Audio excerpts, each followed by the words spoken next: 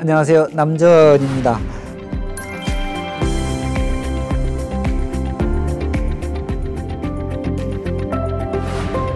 아, 그동안 내 삶을 가꾸는 마음수행 공부 저희가 쭉 같이 하면서 어, 상용경전이라고 할 수 있는 반야심경으로 마음 공부 또 천수경으로 하는 마음 공부도 어, 지난 시간에 마무리를 잘 지었습니다.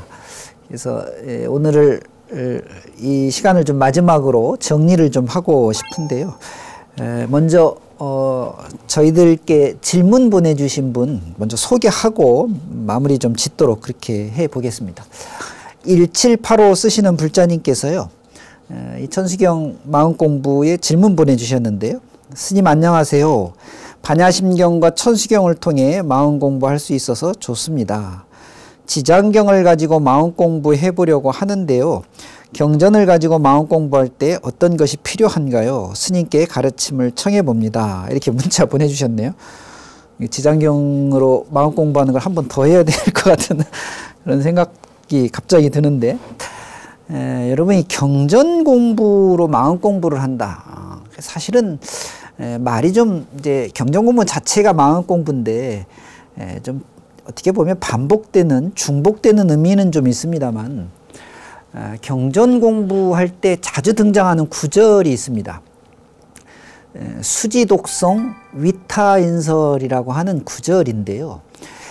이 수지독성 위타인설 이 여덟 자는 경전을 공부하는 자세로서 반드시 견지해야 되는 그런 말씀이어서 어, 이 답변으로 잠시 대신할까 하는데요. 어, 수라고 하는 건 경전의 가르침을 잘 받아서 지 이걸 잘 지니고 어, 딴 데다가 놔두고 다니는 게 아니라 항상 지니고 다니면서 독 읽고 시간 날 때마다 읽고 송이라고 하는 건 기억하는 겁니다. 읽는 데서 끝나는 것이 아니라 그 내용을 마음 안에 잘 간직하는 기억의 의미이죠. 송이라는 말은. 위타인설이란 말은요.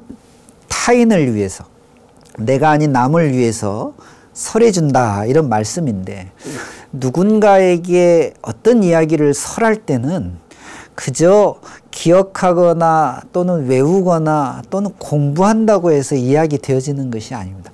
충분히 자기 것으로 소화한 놓은 다음에 남을 위해서 설해줄 때 그것이 설득력도 있고 논리적이기도 하고 또 받아들이는 분이 자연스럽게 받아들일 수 있는 것이군요. 다시 말하면 잘 공부해야 전할 수 있는 겁니다. 경전 공부는 수지 독송하고 위타인설할 정도가 되어야 되는 것이죠. 이 과정에서 마음 공부는 너무너무 자연스럽게 이루어집니다. 어떤 경전을 공부하시든지 간에 수지 독성, 위타인설 하는 이 대목을 꼭 기억해 주시면 어떨까 하는 생각을 가져봅니다. 우리 1785 불자님 질문 이렇게 답변을 좀 드리도록 어, 하겠습니다.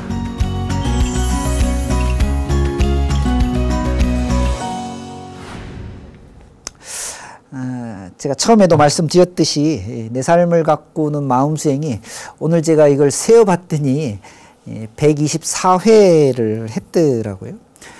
그동안 우리 일상의 마음을 가꾸는 것 그것은 이제 순간순간 일어나는 내 마음을 내 마음의 작용을 잘 들여다보고 그 마음을 부처님의 소중한 가르침을 통해서 어, 저희들은 불자니까요. 그 마음을 좀 가꾸어 가자. 그래서 나의 삶 전체를 좀 아름답고 행복하게 꾸려보자. 이런 뜻으로 방송을 시작했거든요. 아, 여러분 부처님의 가르침은 팔만대장경이라고 흔히 이야기하듯이 아, 일단 엄청난 양을 가지고 있습니다. 그리고 너무나 다양한 면들을 가지고 있죠.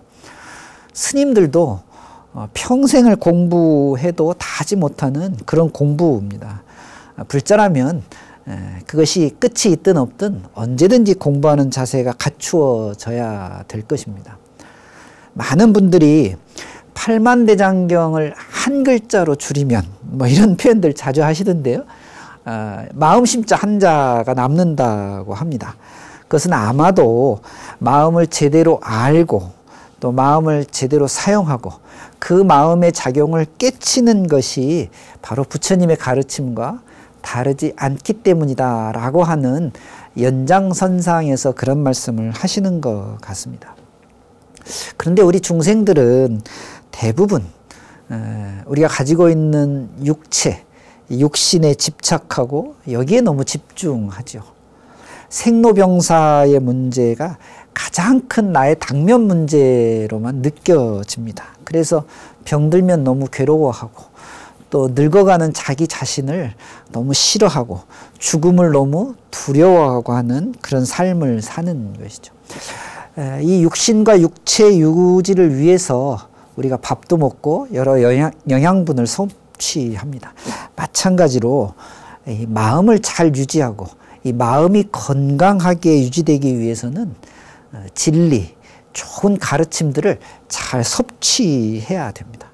우리가 너무 본능적인 육체 건강을 위해서는 많은 노력을 하지만 이 올바른 이성의 작용, 올바른 생각과 마음의 작용을 위해서는 잘 시간과 노력을 투자하지 않는 것 같아요.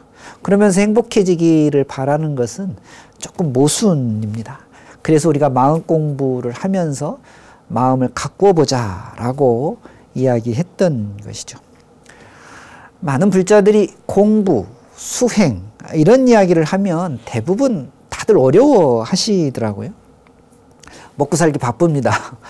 또 공부할 시간 내기가 쉽지 않습니다. 이렇게 이야기하는 분들이 참 많습니다. 2600년 전에 부처님의 삶 속에서도 이런 분들이 많이 계셨더라고요. 이 행복의 지름길, 인생의 참모습을 알 수 있는 부처님 말씀을 들을 저희들은 지금 오랜 시간 동안에 이어져 온 부처님의 말씀을 스님들을 통해서 듣지만 부처님께서 놔두셨을 그 당시에는 부처님께 직접 가르침을 들을 수 있었음에도 불구하고 그 철호의 찬스를 놓친 사람들이 경전의 곳곳에 등장합니다. 참 안타깝죠. 음. 우리가 부처님을 만나 뵐 수는 없지만 부처님께서 남겨주신 수많은 가르침들을 공부할 수는 있습니다. 우리가 먹고 살기 바쁜 문제, 또 시간이 없다는 이런 문제로 인생을 행복하게 하는 인생을 행복하게 이끌어 주시는 이 진리의 가르침을 소홀히 할 수는 없을 것 같습니다.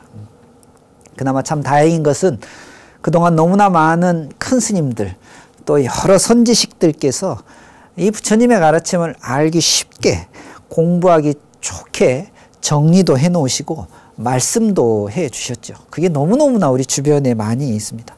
저희는 그냥 그저 열심히 정진만 해도 큰 행복을 얻을 수 있는 좋은 그런 기회를 갖고 있습니다. 부처님의 가르침을 우리가 소승이니 대승이니 이렇게 구별하는 것은 좋지 않은 태도이긴 합니다만 그러나 우리 중생들의 얄팍한 이 이해가 불법들을 구분하기 시작하는데요. 어쨌든 시간의 흐름 속에서 보면 부처님의 탄생과 또 부처님의 열반, 이 공동체 승가가 만들어져서 확장되고 발전되는 것, 이런 과정에서 언제나 어, 지금도 그랬고 100년 전에도 아마 1000년 전에도 그랬는데 그때그때마다 부처님의 참모습으로 돌아가야, 돌아가야 된다라고 생각하는 분들이 굉장히 많았나 봅니다. 그것이 사실은 부처님의 모습으로 돌아가자. 그것이 대승불교의 어떻게 보면 참 모습이라고 할 수 있는 것이고요.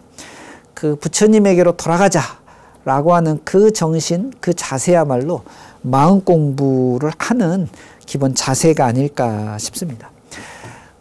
반야심경 천수경 공부를 저희가 했는데요. 사실 반야심경의 공부는 부처님의 지혜를 완성하는 가장 중요한 키워드, 공이라고 하는 가르침을 제대로 알게 되면 부처님께서 말씀해 주신 이 오묘한 이치가 우리 생활 속에서 지혜로서 완성될 수 있다. 이런 가르침을 반야심경은 담고 있고요. 우리가 지난 시간까지 공부했던 이 천수경의 공부는 우리가 살면서 실제로 우리 삶의 현장에서 느껴지는 두려움, 어두운 측면, 부정적인 면, 절망, 불안 이런 것들을 이겨내고 기쁘고 항상 편안하고 항상 희망과 행복을 얻고자 하는 그런 목적을 가지고 천수경이 설해졌습니다. 우리나라 불자라면 누구나가 가장 많이 읽고 독송하는 경전이 반야심경과 천수경이라고 할 수 있는데요. 의식, 기도, 행사 이 두 경전을 독송하지 않으면 아예 시작도 되지 않고 끝내기도 참 어려운 것이죠. 음, 그래서 우리가 마음 공부를 이 반야심경과 천수경으로 다시 한번 잘 공부해 보자라고 하는 취지에서 그동안 말씀을 드렸는데요. 단순히 경전의 글자라든가 아, 그 경전에 담겨져 있는 의미를 해석하는 것에 그치지 마시고 그 안에 정말 무궁무진하게 담겨져 있는 부처님의 그 가르침의 본 뜻을 하나씩 하나씩 찾아내는 뭐 그건 재미도 있고 어 굉장히 순간적인 기쁨을 만끽할 수 있는 좋은 기회이기도 한데요. 그것들을 찾아내서 우리 삶 속에서 하나하나 실제로 적용해보고 그 적용을 통해서 나의 삶이 변화된다면 그런 노력은 정말로 유익한 노력이다. 정말로 행복할 수 있는 아주 좋은 우리의 자세다.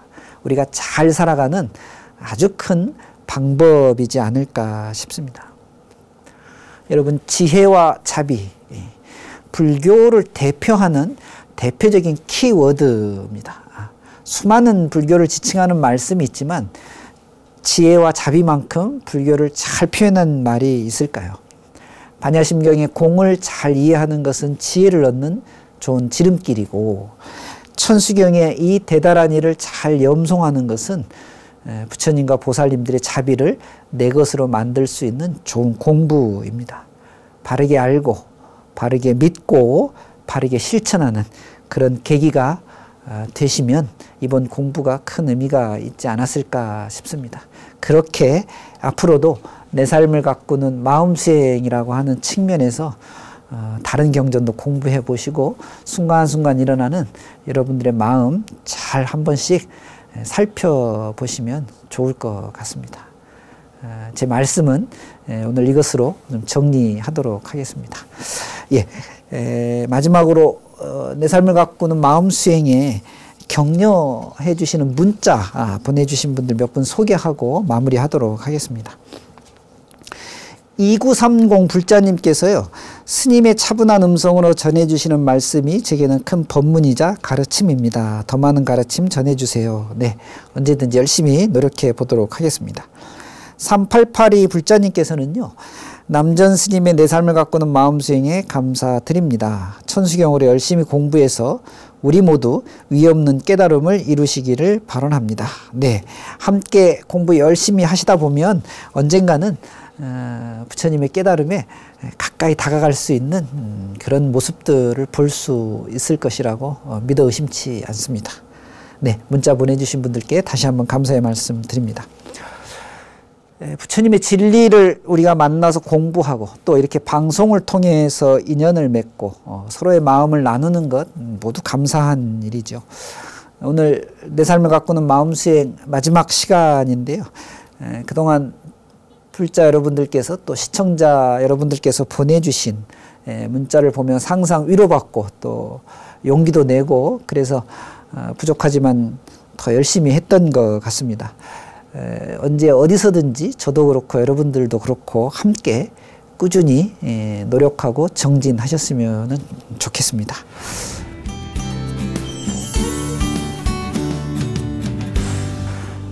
제가 2021년도 그러니까 작년이죠. 작년 2월 달에 음, 처음 방송을 시작한 것 같은데요. 횟수로 보니까 1년 3개월 정도 어, 이제 여정을 마치고 어, 마지막으로 여러분들께 인사드리게 됐습니다. 저희들 프로그램의 제목처럼 부처님의 가르침을 받아서 잘 실천하고 그 실천하는 가운데 내 마음이 좀 바뀌어서 내 삶이 좋은 방향으로 변화할 수만 있다면 내 마음을 가꾸는 일은 행복해지는 열쇠가 될 것입니다. 일상의 모든 것이 마음생 아닌 것이 사실은 없죠. 만나는 인연 인연마다 다 내 마음을 닦게 해주고 되돌아보게 해주고 성찰하게 해주는 부처님 보살님이 아닐 수 없습니다. 마음수행은 그래서 언제나 필요하고 필요한 일인 것 같습니다. 앞으로 여러분들 더 행복해지시고 즐거운 삶 이루시고 언제나 부처님의 가르침과 또 가피 속에서 함께 하시기를 제가 마음 깊이 기도하고 발언하도록 하겠습니다. 모두 건강하시고 저는 이만 인사드리겠습니다. 감사합니다. 성불하십시오.